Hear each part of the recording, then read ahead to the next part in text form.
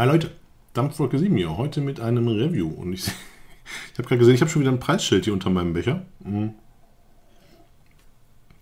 Das hat in meinem letzten Video ähm, auch ein findiger Zuschauer bemerkt. Und ähm, ja, ich habe hier teilweise Gegenstände im Einsatz. Also die Becher, da habe ich mir gerade bei Ikea nochmal so 10, 15 Stück zugekauft. In dem Kinderhaushalt geht immer, immer mal wieder was kaputt. Und ähm, ich brauchte mal wieder Gläser und ich finde die einfach praktisch. Da kann man so ziemlich alles reintun und die sind eigentlich auch sehr standfest und kippen nicht so schnell um. Nun gut, heute geht es um Decodes. Die Firma Decodes gibt es schon recht lange am Markt und die zeichnen sich eigentlich dadurch aus, dass sie ähm, sehr hochqualitative Geräte mit sehr vielen Finessen und einer sehr ausgereiften Elektronik liefern. Die ähm, sogenannte Decodes-Elektronik, die auch in diesem Gerät hier drin ist, das ist nämlich der Dunny Extreme in der v Version V2 Plus. Ähm, bietet nämlich alles, sag ich mal, für einen Einsteiger bis hin zum Experten. Und ja, deswegen kommen von mir jetzt auch die Tage, oder wahrscheinlich heute werde ich die alle gleichzeitig hochgeladen haben. Also wenn ihr das Video guckt, sind die alle schon online. Mehrere Videos zu diesem Thema. Einmal geht es hier um die Dunny in diesem Video. Dann kommt noch ein Video zum 2380 und 2380T.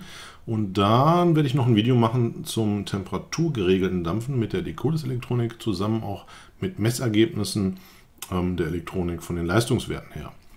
Das Gerät hier liegt bei 40 Watt Ausgangsleistung. Wir kommen mal eben zur Bemaßung. Wir haben 22 mm Durchmesser, 10,6 cm Länge. Wir können befeuern von 0,2 bis 3,5 Ohm. Und ja, 40 Watt haut das Ding hinten raus. Wir haben einen gefederten Puspol. Wir haben hier einen 18650er drin. Es gibt das Gerät aber auch noch in kleineren Maßen. Da ist immer die Frage, ob das Sinn macht. Es gibt das auch noch als 18350 und 18500, so viel ich weiß. Das hier ist die 18650er Version. Ja, obendrauf habe ich jetzt hier den Kaifun ähm, V4 in der, im Long-Modus und obendrauf das schöne Drip-Tip von der ähm, Buckauer Dampfmanufaktur. Coole Kombi, wie ich finde. Ich zeige euch aber nachher im Fazit auch nochmal andere Verdampfer, wie die auf dem Gerät aussehen. Und beim Dampfen. Mhm. Ja, auf mich kommt noch eine Menge Arbeit zu. Wenn ihr das hier seht, bin ich damit fertig und ich hoffe, ihr seid mit dem Ergebnis zufrieden und es ist nicht zu viel und zu umständlich. Das Menü, was ich jetzt auch in dem Video komplett erkläre, ähm, oder der Teil des Videos richtet sich eher an Leute, die das Gerät gerade gekauft haben und zu faul sind, die Anleitung zu lesen. Ich lese das so ein bisschen vor und erkläre so ein bisschen was dazu, ähm, wozu die einzelnen Menüpunkte da sind, wo sie sich befinden, wie man da hinkommt und so weiter. Nicht, dass sich jemand in dem Menü verirrt. Ähm, das müsst ihr natürlich nicht gucken, wenn ihr euch einfach nur einen Ersteindruck von dem Gerät verschaffen wollt. Dann könnt ihr hier unten unter dem äh, Video, seht ihr immer ähm, eine Uhrzeit vorne und dahinter einen Titel. Da könnt ihr, das sind sogenannte Sprungmarken, im Video nach vorne oder nach hinten springen. Ähm, ja, wenn euch das mit dem Menü zu langweilig ist, springt einfach direkt zum Fazit, dann seht ihr noch so ein bisschen Details halt zu dem Gerät. Gut, sehr lange Einleitung. Ich würde sagen, wir legen mal los mit der Detailansicht, also auch heute wieder. Dranbleiben, spannend.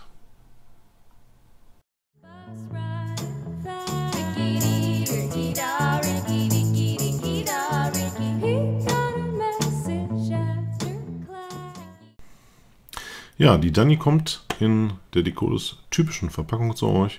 Das ist hier diese Metallbox. Da drin befindet sich zum einen mal natürlich das Handbuch. Da drin ist einiges Informationen bewahrt euch das gut auf. Hier sind nämlich auch die Menüs nochmal erklärt mit den einzelnen Einstellungen, die es dort gibt.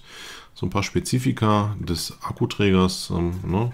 also auch Leistungsdaten und so weiter, sind hier kurz aufgeführt. Und das hilft zumindest, ähm, um den Einstieg in äh, die Menüs auch vernünftig zu finden. Dann bekommt ihr ein Stück von diesem NIFE 30 Draht mit dabei, der einen Temperaturkoeffizienten von 320 was das heißt, ähm, werde ich noch mal in einem speziellen Video zum ähm, ja, temperaturgeregelten Dampfen mit Decodes-Elektronik machen. Ähm, kriegt ihr hier schon mal mit dabei, also könnt ihr den antesten.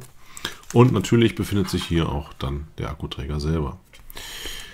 Die Dani ist ein Akkuträger aus Edelstahl. Wir haben eine Einklick-Bedienung hier, so wie wir es von anderen Akkuträgern teilweise halt auch kennen. Kommen wir aber erstmal zur Optik und zu ja, den äußeren Beschaffenheiten. Wir haben hier oben unseren 510er Anschluss. Da im Inneren befindet sich ein ähm, gefederter, gefederter Pluspol. Das ist neu bei dieser Version. Also es gibt auch noch eine alte Version ohne Plus. Die hat den gefederten ähm, Kern nicht, sondern da ist der starr.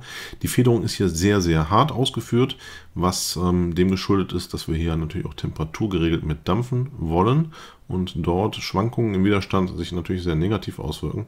Ähm, und es wurde als Material Kupfer, Beryllium verwendet, was äh, auch eine sehr gute Leitfähigkeit besitzt. Wir sehen hier oben ähm, unsere Seriennummer. Die ist beim Dunny etwas länger als bei den anderen Modellen und darüber lässt sich das Gerät auch identifizieren. Wir haben über die Tube hinaus einen Durchmesser von 22 mm. Also hier passen alle gängigen Verdampfer in dem Durchmesser halt dann drauf. Und wir haben eine Länge von, lass uns das mal eben schnell nachmessen, in der Konfiguration hier jetzt von ähm, 10 cm und 6 mm. Also 10,6 cm. Ähm, das Ganze ist also recht kurz aufgehalten. Es ist für 18650er Akkus. Wenn wir uns das jetzt hier anschauen, hm, die Elektronik nimmt hier nicht viel Platz weg, weil wir haben einmal natürlich hier oben den gefederten Pluspol, der, sage ich mal, Platz beansprucht. Wir haben hier auch nochmal eine Feder unten im, in dem Batteriedeckel, den wir uns gleich auch nochmal genau angucken. Also sehr kompakt gebaut. Designelemente haben wir hier unten diese zwei ähm, Eingravierungen oder diese zwei Riefen. Ich stelle das nochmal eben scharf, damit man es auch genau sehen kann. Und hier verbirgt sich auch unsere Akkukappe. Auf der Rückseite dieser ist das auch nochmal graviert. Was haben wir denn hier? Das Ganze ist Made in Germany, es ist von Decodis und das Design stammt vom Herrn Wilms. Einen lieben Gruß hier. Wir haben hier ein Entgasungsloch, falls mal mit der Akkuelektronik irgendwas schief läuft. Also auch hier ist an alles gedacht worden. Der Knopf oder Schalter steht ein wenig hervor. Man findet ihn auch sehr leicht mit dem Finger. Er hat einen sehr angenehmen Druckpunkt. Ist nicht unangenehm, scharfkantig oder sonst irgendwas. Ähm, also sehr gelungen. Und man muss nicht hingucken, sondern man kann ihn sehr schnell auch erfüllen und ähm, ist dann feuerbereit. Auf der anderen Seite sehen wir hier unser Display. Dieses bietet uns die wichtigsten Informationen gleich. Ähm, wir werden die Menüs hier heute auch mal kurz eben anreißen, was da alles für Möglichkeiten gibt. Ich lege jedem ans Herz, sich das Handbuch durchzulesen. Das kann man bei Decodis auf der Webseite durch äh, sich, äh, sich herunterladen. Dabei liegt ja dieses kleine Short-Menu. Es gibt aber auch nochmal eine vollständige Anleitung und da wird jeder einzelne Begriff auch nochmal sehr, sehr gut ähm, und auch didaktisch erklärt. Also ähm, ja, da muss man sich ein bisschen einarbeiten, aber wenn man das einmal verstanden hat, ähm, kann man sich den Akkuträger dann wirklich so anpassen, wie es einem gefällt. Gut, kommen wir nochmal eben zum Batteriedeckel. Wenn ich den hier abnehme, dann sehen wir hier im Inneren diese Feder. Die ist auch so gebaut worden, die ist einmal oben auch plan geschliffen, ähm, dass hier ein möglichst guter Andruckpunkt ist, also möglichst hoher Druck auf den Akku ähm, einwirkt und auch möglichst guter Kontakt zwischen dem ähm, Akkudeckel und dem restlichen Akkuträger entsteht. Alles natürlich, um Voltage Drop oder so halt zu minimieren. Wenn wir in die Tube reingucken, kann man hier unten so ein bisschen die Elektronik erkennen. Dort sieht man auch den äh, Pol, der dann den Pluspol aufnimmt. Dieser ist hier in dieser Version nicht gefedert und man kann die Elektronik hier entsprechend sehen. Zu dem Pluspol möchte ich auch noch erwähnen, dass er getestet wurde mit Druckluft. Ähm, er ist absolut dicht, das heißt von dieser Seite kann kein Liquid in äh, die innere Elektronik eindringen. Der ist entsprechend abgedichtet, so dass wir hier sicher sind. Das ähm, ist immer wieder ein Problem bei Akkuträgern, dass dort vielleicht Flüssigkeit oder so durch den gefederten Pluspol nach unten gelangen kann. Diese Gefahr gibt es hier nicht. Hier unten auf der Tube auch noch zu erwähnen ist das Logo von Nicodes. Das ist immer der typische ähm, Kohleförderturm, den wir haben mit dem rauchenden Schornstein daneben. Auf dem Dunny ist das Ganze schwarz gelasert, auf den 2380 ist es so eine weiße Laserung oder Prägung, was auch immer. Gut. Das erstmal zur Optik des Gerätes. Und ich würde sagen, dann wechseln wir jetzt mal zu den Menüs und schauen mal auch in die Spezifikation des Akkuträgers rein. Was kann er denn alles und wie kann ich das Ganze denn einstellen? Gut, kommen wir erstmal zu den grundlegenden Features des Akkuträgers. Hm. Ja, wir haben einen Regelbereich bei dem Dunny von 5 bis 40 Watt. Ein Akku wird eingebaut, ein 18650er. Wir haben, wie eben gezeigt, äh, hier in der Feder unten einen gefederten Pluspol und wir haben eine Möglichkeit, eine Ausgangsspannung von bis zu 12 Volt. ähm, hier rauszukommen und äh, bis zu 15 Ampere. Ne, was da jetzt jeweils zuerst greift, also wo ähm, die 15 Ampere oder die 12 Volt, hängt natürlich schon von eurer Wicklung ab. Wir haben äh, eine Möglichkeit hier temperaturgeregeltes Dampfen zu machen mit verschiedensten Drahtmaterialien. Ihr seid hier nicht angewiesen darauf, dass dann, wenn mal ein neuer Draht rauskommt oder so, ähm, hier ein Update oder so stattfinden muss, weil es wird mit dem sogenannten Temperaturkoeffizienten gearbeitet. Das ist, äh, sag ich mal, eine Zahl, die ihr hier eingebt und dann könnt ihr jeden Draht entsprechend nutzen. Temperaturkoeffizient ist ja, also ein Draht, ein Widerstandsdraht, ändert ja seinen Widerstand, wenn er heiß wird oder auch wenn er kälter wird, kriegt man dann mehr oder weniger Widerstand und diese Differenz, daran kann man halt messen, welche Temperatur wir ungefähr haben. Und ähm, so funktioniert halt temperaturgeregeltes Dampfen. Da wird nicht geraten, sondern es wird der Widerstand gemessen und entsprechend dann geregelt. Diesen Koeffizienten könnt ihr hier frei eingeben. Ihr habt aber auch einige Profile jetzt bei der neuen Version hier. Das sehen wir vielleicht gleich auch nochmal in den Menüs, wo ihr dann ähm, den hinterlegen könnt und sagt, ich möchte jetzt den Eisendraht, ich möchte jetzt den Nickeldraht, ich möchte jetzt den Titandraht oder ich möchte den Nifedraht oder auch noch, ich kann hier ein eigenes Profil anlegen und dort einen freien Koeffizienten eingeben. Ähm, wir haben die Möglichkeit, das Ganze auch noch als mechanischen Akkuträger zu benutzen. Es gibt sogenannten Bypass-Modus, den kann man einstellen und dann wird die Spannung, die die Batterie gerade hergibt, komplett durchgereicht. Auch hier greift aber weiterhin ähm, ja, der elektronische Überlastungsschutz. Also ein Kurzschluss oder so weiter würde jetzt hier keine Elektronik zerstören, sondern würde dann halt auch sperren. Wir haben ähm, zehn verschiedene Power Boost Modi. Da kommen wir vielleicht auch gleich nochmal zu. Da zeige ich euch die Tabelle. Power Boost heißt, ich stelle maximalen Wattwert ein und ähm, auf die Wicklung wird, wenn ich feuere, am Anfang des Feuerns eine höhere Spannung gegeben, damit die Wicklung schneller auf Temperatur kommt. Ne? Also ihr kennt es ja, normalerweise drückt man und geht dann zum Mund hm, und zieht, damit man schon so eine Vorheizzeit hat oder irgendwas. Man hat so ein spezielles Klicken und Drücken, wie man das halt macht. Ähm, diese Boost sorgt halt dafür, dass, ich sage mal, ich würde jetzt normalerweise bei 5 Volt dampfen, der geht, gibt aber am Anfang des Dampfens dann für ein paar Millisekunden 7 Volt auf die Wicklung. Das heißt, sie wird sehr schnell heiß und wird dann auf dem normalen, im normalen Regelbereich halt weitergefahren. Mhm. Dann gibt es 10 verschiedene Heater Protection Modi. Das ist auch wieder die Temperaturkontrolle, in, welch, in welcher Art sie halt greift, also auch wie sie regelt. Auch da kann man individuell, sag ich mal, sein, seine ähm, Vorlieben oder was man auch immer, wie man am liebsten dann äh, dampfen möchte, ähm, entsprechend anpassen. Der Verdampferwiderstandsbereich geht von 0,05 Ohm bis 5 Ohm als höchsten Widerstand. Der Verdampferwiderstand ähm, ist aber für 40 Watt zwischen 0,2 und 3,5 Ohm das, wo er auch garantiert dann die 40 Watt schafft. Ne? Also wenn ihr bei 0,2 Ohm dampft bis 3,5 Ohm, könnt ihr wirklich 40 Watt daraus jagen. Ähm, wie rum ihr den Akku einlegt, ist im Endeffekt egal. Funktionieren tut es natürlich nur so, wenn ihr den Pluspol nach oben, also als erstes in die Röhre reinschiebt. Wenn ihr es andersrum macht, geht aber auch nichts kaputt. Wir haben Verpullungsschutz. Wir haben ähm, eine intuitiv vielseitige Menüstruktur. Das ist eine sehr schöne Beschreibung. Ähm, individuelle Benutzereinstellungen trifft es wirklich sehr, sehr genau. Und äh, natürlich habt ihr zwei Jahre Garantie auf das Gerät. Ja, kommen wir mal ähm, zu den einzelnen Menüeinstellungen. Ja, wir, der Akkuträger verführt über ein äh, OLED-Display, was äh, uns halt immer die wichtigsten Informationen ähm, zu unserem Gerät halt ähm, anzeigt.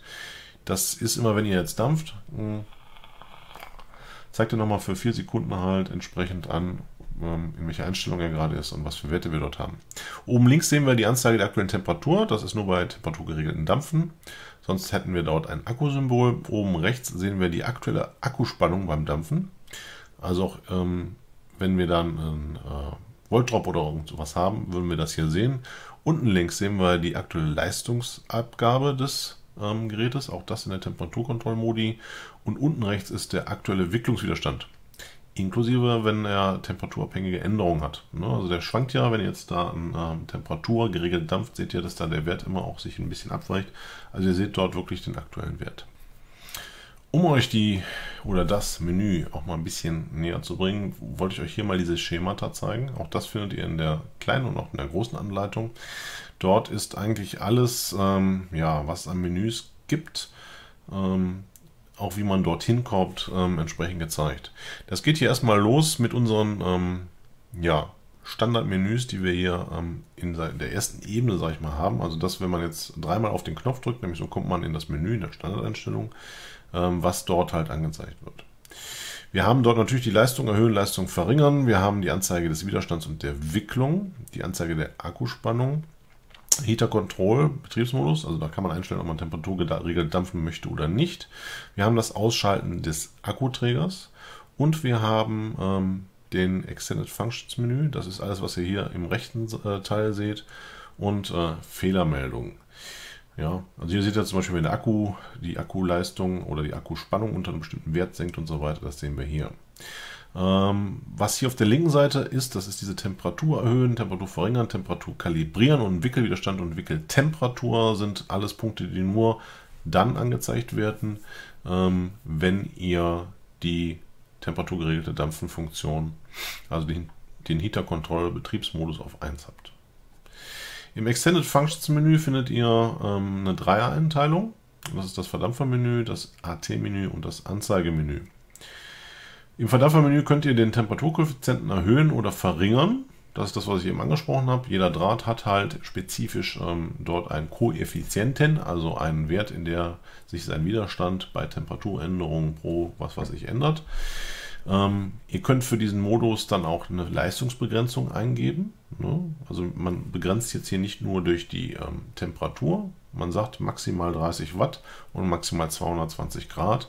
Dann, je nachdem, welcher Wert von beiden zuerst erreicht wird, also wenn ich zuerst bei den Watt ankomme an der Obergrenze, dann macht er Schluss. Oder wenn die Temperatur über diesen Wert, den ich dort als maximalen eingegeben habe, wenn die erreicht wird, macht er halt Schluss. Je nachdem, was davon als erstes greift, ähm, dampfen wir dann wattbegrenzt oder halt temperaturbegrenzt. Da muss man sich immer darüber bewusst sein. Dann haben wir die Heater Protection Einstellungen, zu denen kommen wir gleich auch nochmal ein bisschen genauer. Und wir haben die Power Boost Einstellungen. Auch die schauen wir uns gleich nochmal ein bisschen genauer an, weil die sind eigentlich recht interessant. Dort könnt ihr nochmal so ein bisschen was rauskitzeln für so bestimmte Dampfgeschichten. Im AT-Menü habt ihr alles, was, sag ich mal, und, ja, bei einem Computer würde man das in Systemeinstellungen oder so finden. Ähm, das, dort ist als erstes die Akku-Tiefenentladegrenze. Das ist ähm, den Wert, der liegt bei normal bei den Akkus bei 2,6 oder bei 2,7 Volt irgendwo, ähm, wie man, ja, wie tief die Akkuspannung unter Last sinken darf. Äh, die Helligkeitsanzeige, dort könnt ihr anzeigen, wie, äh, einstellen, wie hell das Display sein soll. Die Auto-Abschaltzeit könnt ihr da in mehreren Stufen einstellen, ab wann ähm, der in seinen Ausschaltmodus geht. Die Einschaltklicks wie oft muss ich klicken, bis er danach wieder an ist? Ich habe das bei mir hm, auf 0 gestellt. Das heißt, ich muss nur klicken und dann habe ich direkt wieder Feuer, auch wenn er dann sich schon ausgeschaltet hat. Ähm, nach wie viel Klicks das Menü aktiv wird, standmäßig ist das 3, 1, 2, 3, dann komme ich ins Menü. Die Klickgeschwindigkeit, also wie schnell muss ich dreimal klicken, damit ich ins Menü komme. Äh, heftige Wattschritte, da könnt ihr einstellen, hm, Ihr kennt es, also normalerweise ist das festgelegt. Ne? Wenn ich auf Plus drücke, dann geht der einen Watt hoch und wenn ich auf Minus drücke, geht der einen Watt runter. Hier kann ich einstellen, wie weit der Wert dann sein soll. Ne? 0,5 Schritte, einer Schritte oder was auch immer. Dann kann ich natürlich für den europäischen Markt, haben wir hier meistens ähm, Grad Celsius, wir können aber auch auf Grad Fahrenheit umstellen. Ähm, wir können den Display-Modus einstellen und die Display-Orientierung, das ist für Links- und Rechtshänder vielleicht nochmal interessant ähm, den Expertenmodus und falls wir uns in all diesen Menüs irgendwie verirrt haben und irgendwas funktioniert nicht mehr so, wie wir uns das vorstellen, haben wir hier ganz wichtig auch nochmal die Werkseinstellungen, dann seid ihr wieder auf dem Ausgangspunkt und könnt weiterspielen. Das Anzeigemenü. Dort können wir die Anzahl der Züge, die Dampfzeit, Energieverbrauch in Joule, Akkukapazität, Rücksetzen des Zählers, Züge über Betriebszeit und Dampfzeit absolut ähm, uns angucken und auch löschen. Bis mit einer Ausnahme, das ist die, ähm, die Züge über Betriebszeit, meine ich. Ähm, also die bleiben euch erhalten. Damit der Hersteller weiß, wie oft ihr geklickt habt oder was auch immer. Keine Ahnung. Ja. Ihr seht, sind alles Werte, wenn man sich das einmal durchliest, ist das alles sehr verständlich. Nur wenn man mit einem Knopf sich da durchbewegt, und man hat bestimmte Reaktionszeiten und man muss immer erst begreifen, was ist das jetzt, wo will ich denn hin, ähm, ist das am Anfang natürlich etwas komplizierter, wenn ihr das einmal drauf habt. Und ähm, ich schätze, man setzt sich sowieso nur einmal hin und macht, sag ich mal, so seine Standardeinstellung und dann wandert man dann sowieso nicht mehr in den Extended-Menü, vielleicht maximal nochmal, um Temperaturkoeffizienten oder so einzustellen, ähm, ist man da genauso einfach unterwegs wie bei anderen Akkuträgern auch. Dieses Menü ist kein Muss, sondern es ist ein Kann. Und ähm, man kann mit dem Akkuträger halt auch wachsen und kann sagen, hey, jetzt das Normale habe ich drauf und jetzt möchte ich mal weiter und wird dann hier nicht begrenzt, sondern hat wirklich die Möglichkeit, hier sehr, sehr vieles anzupassen. Und ähm, jeder dampft halt anders und hat andere Vorstellungen davon, wie das zu funktionieren hat. Und man kann hier wirklich sehr vieles dann auch für sich dann perfekt machen. Gut, gehen wir nochmal die wichtigsten ähm, Geschichten aus dem Handtuch durch. Also erstmal die Power-Einstellung. Ja, ihr könnt rauf und runter regeln. Ähm, 5 bis 40 Watt ist da ähm, das maßgebliche. Man kann die Schritte, in denen er wandert, zwischen 0,5 und 1 Watt nochmal ähm, hoch oder runter stellen. Also dass er dann immer um ein halbes Watt nach oben oder nach unten springt oder 1 Watt. Und ab 20 Watt ähm, ändert sich das sowieso, weil dann macht er äh, das Ganze dann in 2 Watt Schritten. Beim temperaturgeregelten Dampfen, wenn das aktiviert ist, bestimmt der eingestellte Leistungswert die maximal in die Wicklung abgebbare Leistung. Ne? Also das müsst ihr auch bedenken, wenn ihr hier ähm, nur 10 Watt stehen habt, dann werdet ihr nie an die maximale oder wahrscheinlich nie an die maximale Temperatur kommen. Also da müsst ihr hier ein bisschen weiter höher gehen, um entsprechend dort ähm, auch dann temperaturgeregelt dampfen zu können. Äh, die Betriebsart mit dem Bypass gibt es ja auch noch. Dann steht dieses Menü natürlich nicht zur Verfügung, weil dann das, was der Akku halt hergibt, rausgegeben wird. Temperaturregelung verhält sich dort auch nicht viel anders. Ihr könnt die Temperatur auf und runter regeln. Auch hier haben wir natürlich einen Regelbereich, der geht von 120 Grad als Minimalwert bis hin zu 280 Grad Celsius. Im Fahrenheit ist das dann 250 bis 540 Fahrenheit. Ihr könnt das Ganze in 5 Grad Schritten rauf oder runter stellen. In Fahrenheit geht ihr in 10 Schritten rauf und runter. Ähm, wichtig und zu bedenken ist natürlich, wenn ihr das erste Mal einen neuen Verdampfer draufschraubt und diese Wicklung noch nicht kalibriert habt. Kalibrieren heißt, die Wicklung im kalten Zustand, also ohne dass sie erwärmt wurde, auf Zimmertemperatur also ist, bei 20 Grad müsst ihr die einmal ähm, initialisieren. Das geht über das TempCal Init. Diesen Modus kann man aber auch auf Automatik stellen. Ja, das ist ähm, eine Möglichkeit, die man auch hat, dass man sagt, er soll sowieso diese ähm, Initialisierung machen, wenn ich einen neuen Verdampfer aufschraube. Gut. Das sehen wir auch im nächsten Menüpunkt. Deswegen nennt sich das hier auch manueller Wicklungstemperaturabgleich. Hm, den gibt es natürlich nur, wenn ihr Temperatur geregelt dampft und die ähm, Durchführung dieses Vorgangs, nämlich das Initialisieren, durchmessen muss, einmal ähm, bestätigt werden. Ja, da gibt es natürlich diesen Wert mit automatisch oder manuell. Das gibt, im, gibt es im Advanced-Menü, da müsst ihr es entsprechend einstellen. Dann äh, findet diese Messung, also wenn sie aktiviert ist, nach jedem Einschalten einmal statt. Wenn ihr jetzt aber natürlich die Ausschaltzeit auf einer Minute stehen habt und ihr seid praktisch am Dampfen und das Ding liegt eine Minute, würde er dann nach der Minute auch dann wieder die Messung machen. Ähm, also für die Genauigkeit muss man dann da das, diesen Wert ein bisschen höher stellen. Ja. Wenn ihr also das Gerät die ganze Zeit benutzt habt, dann macht das lieber eben manuell den Abgleich. Dann seid ihr auf der sicheren Seite und ähm, habt nicht das Problem, dass da vielleicht Temperaturschwankungen, ihr seid mal irgendwo im Kalten oder so, ähm, euch da diese Initialisiere, äh, diese Messung halt dann irgendwie versauen. Ebenfalls im Basismenü gibt es das ähm, Menü, Menüpunkt Wicklungswiderstand und Temperatur. Ähm, dort seht ihr ähm, den Widerstand eurer Wicklung und ihr seht die Temperatur, die gerade an der Wicklung errechnet oder gemessen wird. Ja. Wenn ihr dort Werte angezeigt bekommt, die unter 20 Grad liegen, solltet ihr auf jeden Fall nochmal neu kalibrieren, weil dann ist da irgendwas schiefgelaufen. Auch so steht es natürlich hier im Handbuch. Kommen wir zu dem Menüpunkt UB0 und UBL. Da seht ihr einmal die Spannung des Akkus, die jetzt gerade, wenn er nicht unter Last ist, gemessen wird. Ähm, und dann seht ihr darunter die Spannung, die minimal unter, auf die er zusammengebrochen ist, am Ende des Feuervorgangs. Ich lasse los und das, was in dem Moment, wo ich loslasse, auf der Spannung, auf der in dem Moment der Akkuträger ist, das ist die UBL. Wenn ihr dort sehr hohe Abweichungen habt, dann stimmt irgendwas mit eurem Akku nicht oder ihr habt irgendwo Übergangswiderstände, die dafür sorgen, dass wir einen sehr hohen Voltdrop haben. Diese ähm, Anzeige ist also zumindest mal interessant, ähm, um auch defekte Akkus auszusortieren. Also wenn jetzt da 4 Volt angezeigt werden und der hat da UBL dann 3,1 Volt oder so stehen, dann ähm, haben wir da irgendwo ein Problem und das sollte man sich dann genauer anschauen. Gut, kommen wir nun zur ähm, Heater Control Standardeinstellung. Hier könnt ihr die Temperaturregelung einschalten, indem ihr das auf 1 setzt. Wenn ihr das auf 0 stehen habt, habt ihr die Leistungsregelung. Generell hat der Akkuträger fünf verschiedene ähm, Arten, wie er halt ähm, ja, befeuern kann. Ihr könnt äh, hier halt 0 für Leistungsregelung auswählen. 1 wäre dann temperaturgeregeltes Dampfen. Wenn ihr 2 auswählt ähm, oder 3 oder 4, dann ist das nur möglich, wenn ihr ähm, im Advanced Menü oder im Extended Functions Menü hm, die Advanced oder den Expert-Modus eingestellt habt. Ne, den muss man dort explizit aktivieren und dann könnt ihr auch zusätzlich noch benutzen den Heater Protection Modus, den Power Boost Modus oder den Bypass Modus. Da äh, seid ihr sonst, könnt ihr das da nicht entsprechend auswählen und äh, zu den Funktionen kommen wir gleich aber noch. Der Standardmodus ist das, was wir kennen von ganz normalen Akkuträgern, die Watt geregelt dampfen. Ihr könnt da alles von Watt rauf und runter, ne, 5 bis 40 Watt entsprechend einstellen. Und das sollte eigentlich bekannt sein. Im temperaturgeregelten Modus, also dann ähm, Nummer 1, wird das dann schon ein bisschen interessanter.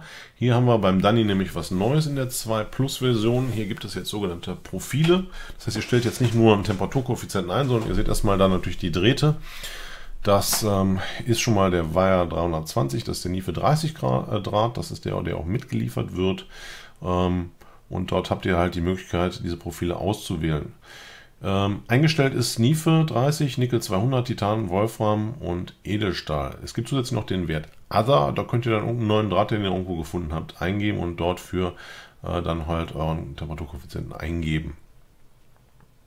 Man sollte hier aber auch beachten, dass ähm, es vorkommen kann, dass nicht jeder ähm, Titandraht selben Durchmessers dieselben Werte hat. Also hier muss man vielleicht teilweise dann auch noch mal ein bisschen experimentieren weil ihr kauft irgendwo 040er Titandraht, aber der hat so ein bisschen anders, eine andere Legierung oder so. Also die Drahtsorten sind nicht unbedingt alle gleich. Ja. Zumindest beim NIFE 30 Grad könnt ihr, äh, NIFE 30 Draht könnt ihr euch sicher sein von Ticolis, dass der, der Wert stimmt. Aber ähm, da muss man vielleicht bei einigen nochmal einen rauf oder runter regeln, um zu schauen, ob das dann besser passt. Kommen wir nun zum Heater Protection Modus. Der ist sowas wie ähm, ja, ein Ein- und Ausschalten des ähm, der Spannung, die oder des, der Leistung, die auf den Draht geht. Die Idee dahinter ist, dass dann immer so ein bisschen Liquid nachfließen kann und dann wieder gefeuert wird. Ja, also ihr sorgt dann dafür, dass die Spannung anliegt für so und so viele Millisekunden, danach wird sie wieder ausgeschaltet, dann wird sie wieder angeschaltet und ähm, da gibt es halt zehn verschiedene Modi, ihr seht das hier, ähm, dort seht ihr die Millisekunden, in denen der dann halt entsprechend aus ist ähm, oder an ist. Ne, hier sehen wir 400 Millisekunden ein werden dann immer unterbrochen durch 100 Millisekunden oder 2000 ähm, Millisekunden oder 2 Sekunden an und dann immer 80 Millisekunden aus. Dadurch müsste man nochmal testen, habe ich noch nicht gemacht. Ähm, ergeben sich natürlich dann Möglichkeiten, dort auch nochmal mit Wicklung anders umzugehen. Auf jeden Fall interessant. Gut, kommen wir zum Power Boost Modus. Das Heat Control dann auf 3 P Boost. Und dort kann man im Extended Functions Menü oder Power Boost kann man dann den Modi auswählen. Ähm, ich hatte das eben schon angerissen. Die Idee ist ja gar nicht so schlecht. Ähm, ich drücke auf den Knopf, ich jage erstmal eine ziemlich hohe Spannung auf die Wicklung und senke das dann ab. Dadurch erreiche ich sehr schnell die Temperatur und kann dann mit einer niedrigeren Spannung weitermachen und habe dadurch ein schnelleres und ja, vielleicht auch besseres Dampferlebnis. Die Leistung sollte dort dann aber, die Maximalleistung, nicht zu hoch eingestellt sein. Ne? Also wenn ihr normalerweise dann bei 15 ähm, Watt dampft oder so, stellt man das dann ein bisschen niedriger und stellt dann den Power Boost auf, was weiß ich, 17 Watt. Und da muss man halt ein bisschen rumexperimentieren, was mit der jeweiligen äh, Wicklung dort am besten passiert. Auf jeden Fall, wenn ihr das ausprobieren wollt, könnt ihr das hier in dem äh, Menü entsprechend machen. Wenn ihr natürlich den Leistungswert auf denselben wie das äh, Power Limit ähm, einstellt, habt ihr gar keinen Power Boost. Also muss man entsprechend ähm, sich da mal ein bisschen reinfuchsen. Ähm, welcher hohe und niedrige Wert dort dann am besten funktioniert. Ja, kommen wir nun zum äh, Menüpunkt Switch Off. Den könnt ihr auf einsetzen, damit der Akkuträger ausgeschaltet. Parallel dazu gibt es natürlich noch die ähm, Abschaltung automatischer Art. Dort könnt ihr einstellen, ob nach 1, 2, 3 oder x Minuten halt das automatisch passiert. Kommt gleich auch nochmal im Extended Functions Menü.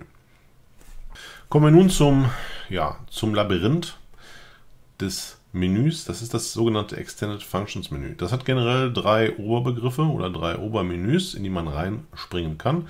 Also ich gehe zuerst in den Extended Functions und habe dann die Möglichkeit, in das Heater-Menü zu gehen, in das Mod-Menü oder in das Value-Menü. Heater heißt Einstellung für den Verdampfer. Dort sind aber auch alle temperaturgeregelten Geschichten wie Koeffizient und so weiter abgelegt. Haben wir ja eben schon mal gesehen, so ein bisschen und angerissen. Mod-Menü, dort gibt es die ganzen Systemeinstellungen des Gerätes und wir haben Value-Menü, da gibt es noch ein paar statistische Anzeigen, da werden die ganzen Informationen, wie oft habe ich gedampft, wie lange und so weiter angezeigt. Dort sind sehr viele Einstellungen möglich und wenn ihr euch da mal vertan habt, gibt es natürlich immer noch die Möglichkeit, ihr habt es in der Übersicht gesehen, dann auf die Werkseinstellung zurückzusetzen. Kommen wir nun zum letzten Menüpunkt in dem Basismenü und zwar handelt es sich darum um die sogenannte Fehlermeldung. Da gibt es ähm, an der Zahl 8 Stück. Das kann die Eingangsspannung ist zu hoch sein, ähm, das wäre 0. 1 ist kein ähm, Verdampfer aufgeschraubt oder zumindest wird nichts gemessen, also kein Kontakt zu irgendeiner Entwicklung oder irgendwas. 2 ähm, wäre dann ein Fehler bei der Temperaturreferenzmessung. Fehler 3 ist, ähm, dass der Widerstand der Heißwindung zu hoch ist. Das kann sich zum Beispiel dann ergeben, wenn die ähm, ja, Spannung, die dafür benötigt wird, um zu befeuern, zu hoch ist. Äh, zur Vermeidung der Fehlermeldung könnt ihr aber auch die Leistung etwas reduzieren entsprechend. 4 wäre ein Kurzschluss. 5 äh, sieht man natürlich irgendwann dann mal am Ende des Tages, ist, wenn eure Batterie leer ist. Ähm, 6 wäre, wenn die Elektronik zu heiß ist. Das habe ich bis jetzt noch nicht gehabt. Ähm, sollte bei normaler Nutzung auch nicht auftreten. Also ich habe den auch schon bei 40 Watt längere Zeit betrieben und habe den Fehler nicht gesehen. Timeout. Das ist, wenn ihr den in der Tasche transportiert, seid ihr ganz froh, dass ihr das habt. Ne? Wenn der Taster automatisch irgendwie, wobei, ne, also so leicht löst er auch nicht aus, ähm, länger als x Sekunden gedrückt wird, dann ähm, kommt dieser Fehler und dann ist Schluss. Fehler Nummer 8 ist Loris, das heißt der Widerstand der Wicklung ist zu niedrig. Ja, das erklärt sich, glaube ich, dann auch von selber. So, freut euch, wir haben es gleich geschafft. Wir kommen zum, ja, Extended Functions Menü. Wir haben die drei Oberbegriffe Heater, Mod-Menü und Value-Menü. Wir haben auf der linken Seite die, sehen wir Temperatureinstellung. Können wir rauf und runter regeln. Das sehen wir entweder in Grad oder in Fahrenheit. Wir sehen hier das Power Limit, also die maximale Leistungsbegrenzung könnt ihr dort einstellen. 40 Watt kann der Akkuträger maximal, können wir auch maximal einstellen. Ähm, dann die Auswahl des Heater Protection Modus. Hm, das hatten wir eben angesprochen, dass dieses Ein- und Ausschalten, das Verhalten. Und dann die Auswahl des Power Boost Modus, auch das hatten wir angesprochen. Ne? Anfang hohe Spannung, danach weiter runter. Ähm, das spielt hier auch wieder hier mit dem Power Limit entsprechend zusammen. Könnt ihr konfigurieren. Dann haben wir das Mod-Menü. Hier könnt ihr einstellen, ab welcher ähm, Spannung, und hier ist die Spannung unter Last gemeint, ähm, der Akkuträger sagt, die Batterie ist leer und sich dann ausschaltet. Bei Lumen könnt ihr die Helligkeit von 1 dunkel bis 5 sehr hell einstellen. Die Switch-Off-Time erklärt sich auch. Das kann von einer Minute, 2, 5, dann bis zu 60 Minuten könnt ihr dort einstellen, bis der Akkuträger sich selber ausschaltet. Die Anzahl der Einschaltklicks habe ich auch bei mir auf 0 gesetzt. Das heißt, ich drücke einmal drauf und das Ding ist wieder an. Ich muss nicht dreimal klicken oder irgendwas, wenn er sich dann ausgeschaltet hat vorher. Dann die Menü On-Klick. Wie viel, mit wie vielen Klicks komme ich ins Menü? Dann der Click Speed. Also wie schnell muss ich hintereinander klicken, damit das Ganze greift. Half Watt in welchen, Spring, äh, in welchen ähm, Sprüngen soll er beim Plus und Minus rauf und runter stellen denn springen? Möchte ich immer 1 Watt nach oben regeln oder 0,5 Watt? Ne, das Ganze geht bis 20 Watt und ab 20 Watt verdoppelt sich das dann. Dann habe ich entweder 2 Watt Schritte oder 1 Watt Schritte. Die Temperatur-Unit, die ich hier sehe, ist ähm, ja, Grad Celsius oder Fahrenheit einstellen. Der Display-Modus ähm, ist die Wertanzeige während des Dampfens ein oder aus. Normalerweise zeigt er den die, sag ich mal, die Übersicht, wenn ihr aufgehört habt zu dampfen, kurz an. Man guckt auch schwerlich während dem Dampfen auf die Anzeige. Man könnte höchstens jetzt drücken und würde dann was sehen. Ähm, man gewöhnt es sich sehr schnell an, wenn man da was wissen will, erstmal einen entspannten Zug zu nehmen und dann aufs Display zu gucken. Ähm, Dann haben wir natürlich noch eine Display-Orientierung. Die steht standardmäßig auf rechts für Rechtshändler. Die könnt ihr aber auf L auch für Linkshändler umstellen. Hier ist der Expertenmodus. Damit schaltet ihr die ähm, drei zusätzlichen Modi frei, die wir hier eben schon hatten. Im Standardmenü. Ja, also den äh, Power Boost, den Heater Protection und den Bypass-Modus. Und der sehr wichtige Menüpunkt Rücksetzen auf Werkseinstellungen. Gut, siehe Handbuch. Kommen wir zum Value-Menü. Hier ist die Statistik, hatte ich ja eben gesagt. Ihr seht hier Cycles, also wie viele Züge habt ihr mit dem Gerät schon gemacht, also wie oft habt ihr gedrückt. Ähm, den kann man zurücksetzen. Dann die Dampfzeit, also wie lange habt ihr gezogen. Wie viel Energie wurde dabei verbraucht? Joule. Das könnt ihr zum Beispiel dazu benutzen. Ähm, hier die Battery Cap. Ähm, Battery Cap ist nämlich die Kapazitätsverbrauch seit Rücksetzen des Akkus. Ihr macht einen neuen Akku rein, irgendwann ist er leer und dann könnt ihr gucken, wie viel Milliampere-Stunden habt ihr denn rausgezogen aus dem Akku. Also das ist auch nochmal äh, nice, um zu gucken, wie viel kriege ich denn aus so einem Akku raus, hm, wenn ich den leer dampfe. Mit äh, Reset Counter 0 setzt ihr alle Zähler, die darüber sind, auf 0 und die ähm, gesamte Züge über Betriebsdauer.at ist nicht rücksetzbar. Das seht ihr darunter, Total Cycles und Total Time ist auch nicht rücksetzbar. Da kann der Hersteller sehen, wie oft habt ihr und wie lange habt ihr das Gerät denn schon benutzt. Wenn das mal in Reparatur kommt, ist das vielleicht auch ganz interessant zu sehen, wenn bestimmte Fehler auftauchen. Wie alt ist das denn, wie häufig und wie, ja, in welcher Art wurde das Ganze benutzt. Gut, war doch gar nicht so viel oder so schwer, oder doch? Seid ihr noch da? Seid ihr schon eingeschlafen?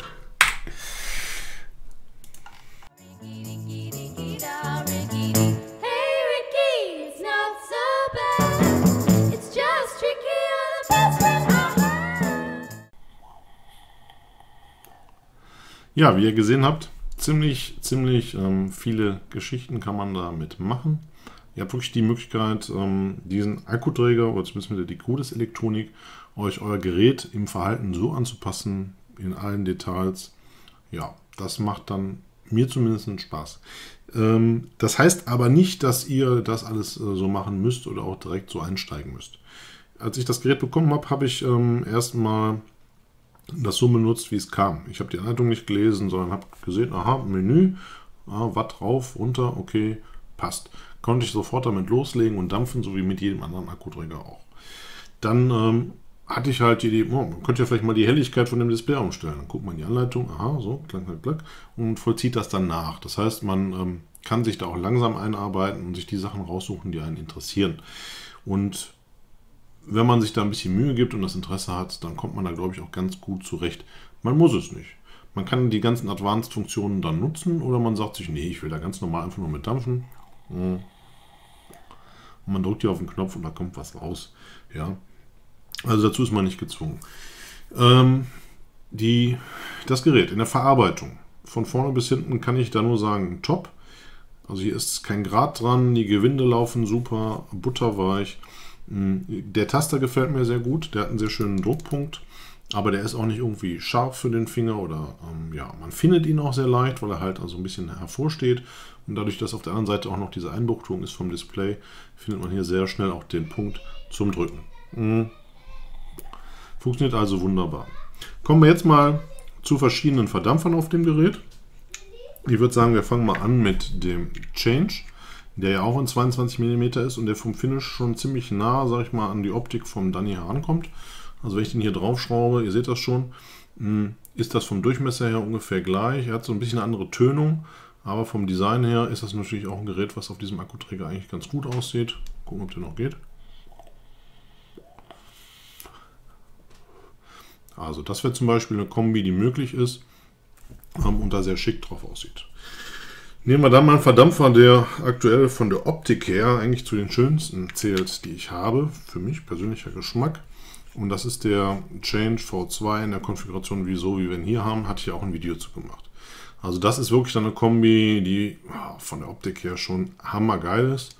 Mhm. Also das sieht schon richtig schick aus. Ne, ist auch eine Linie. Und von der Optik her passt das halt auch sehr, sehr gut.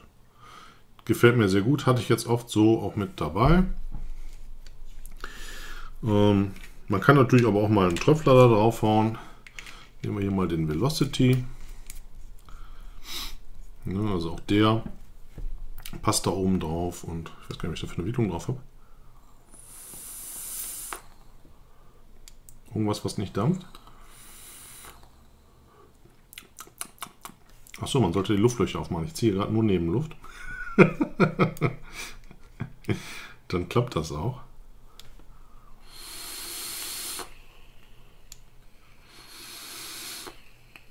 Sieht aber auch noch nicht viel besser aus. Okay, wäre auch eine Möglichkeit halt, das Gerät zu nutzen.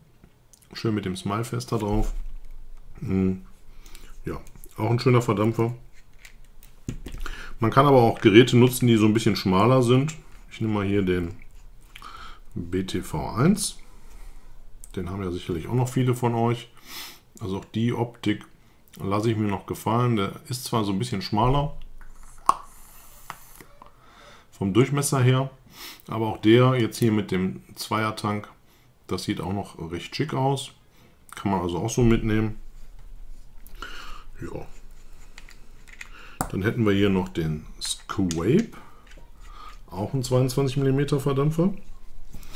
Noch einen Drip-Tipp drauf machen. Zack.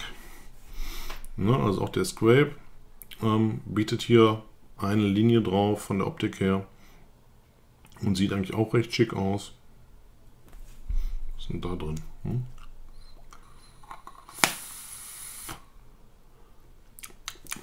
Oh, lecker. After Eight. Man kann aber auch natürlich Verdampfer nehmen, die sag ich mal, von der Optik ähm, zum Edelstahl so ein bisschen abweichen. Wie hier zum Beispiel den Cruiser. Ja, also auch der sieht natürlich hier dann recht schick aus. Hat auch eine Linie hier in der 22 mm Version und hat dann mal so ein bisschen optischen Akzent zum vorhandenen. Und ja, das ist natürlich auch möglich. Oder was auch sehr schön ist, hm, ich weiß jetzt gar nicht, wo ich sie wieder hingesteckt habe. Meine kleine Erdkönigin. Ja. Wo habe ich die denn hin? Achso, die habe ich noch in der Tasche. Ne, da ist sie doch. Weil die halt, sag ich mal, sich dann abhebt vom Verdampfer, weil die eine ganz andere Optik hat. Hm, aber auch das gefällt mir eigentlich sehr, sehr gut. Weil man halt hier den Akkuträger als Einheit hat und dann da oben drauf halt in einem anderen Design halt dann oben die Erkönigin. Ne, also doch das gefällt mir sehr gut. Also ihr seht eigentlich alles, was so in 22 mm auf dem Markt ist, lässt sich da draufschrauben und ja. Was mir auf jeden Fall aufgefallen ist, ist, dass die Elektronik scheinbar sehr effizient arbeitet. Ich hatte den ja wirklich häufig jetzt dabei und ich habe das Gefühl, dass ein Akku hier drin länger hält als in anderen Geräten. Und ähm, auch bei selber derselben Wattstärke habe ich das Gefühl, dass die Elektronik mir mehr aus meinen Akkus rausholt, als das viele andere tun. Ich habe zum Beispiel die alte Clopom Minibox, die, bei der habe ich immer das Gefühl, dass die relativ schnell leer ist. Ähm, oder auch andere Akkuträger, die nicht so lange halten. Hier komme ich mit einem ähm, 18650er Akku meiner Meinung nach, vielleicht ist es auch wieder nur subjektiv, ähm, wesentlich länger. Weil die mehr Milliampere aus den Akkus mir raushält, weil die ähm, Elektronik halt scheinbar effizienter arbeitet. Kann ich natürlich messtechnisch nicht nachweisen, ist mir so eine gefühlte Geschichte, aber wenn ich abends nach Hause komme und hier gucke, ne, oder wenn, ich, wenn die Meldung vom Akku kommt, dann habe ich das Gerät eigentlich schon ziemlich lange im Gebrauch und bei anderen hätte ich dann schon mal wieder wechseln müssen. Ja. Gut. Also von mir gibt es eigentlich für alles 10 Daumen hoch für das Gerät. Ähm, wie gesagt, mit dem Menü, was habe ich immer wieder als, als, Kritikpunkt gehört. Ich sehe es nicht als Kritik, sondern eher als Möglichkeit. Das ist, äh, dieses Menü ist ja kein, kein Muss, sondern ein Kann. Also ich muss die, diese ähm, Komplexität nicht nutzen der Elektronik, sondern ich kann es nutzen. Und ähm, wenn mir das zu viel ist, kann ich halt auch nur die Bereiche nutzen, die man, sag ich mal, als Normaldampfer, Normalsterblicher benutzt. Die 40 Watt sind für mich vollkommen ausreichend. Ihr wisst da draußen, der Trend geht zu 100, 200, 310 Kilowatt oder was auch immer. Ähm, mir reicht 40 Watt dicke aus. Ich bin immer so zwischen 20 und 30 Watt unterwegs. Ich bin ja so ein bisschen irgendwie der Saurier mit Backedampfen und so weiter. Ähm, ja, aber so ein Gerät macht mich halt glücklich und ich weiß, es hält sehr lange. Und wenn mal irgendwas dran sein sollte, dann kann es halt wieder zurückgehen zum Hersteller und dann ähm, habe ich da halt Garantie und Service hier in Deutschland. Wenn euch so ein chinesisches Ding kaputt geht, ist ja meistens der Versand dann sonst teurer als ähm, ja, der Wert des Gerätes. Hier in dem Falle hat man halt da Möglichkeiten, die man da im anderen Bereich nicht hat. Gut, dann wären wir jetzt auch erstmal soweit durch mit dem Dunny. Ich lege euch noch die anderen Videos natürlich ans Herz. Einmal über die 2380 und 2380T und natürlich das Video über das temperaturgeregelte Dampfen mit der Dunny und auch die elektrischen Messwerte. Ja, wenn es euch gefallen hat, klickt das nächste auch mal auch wieder klickt das nächste Mal auch wieder hier gerne bei mir rein und ja, immer viel Spaß beim Dampfen. Tschüss, euer Dampfvolk.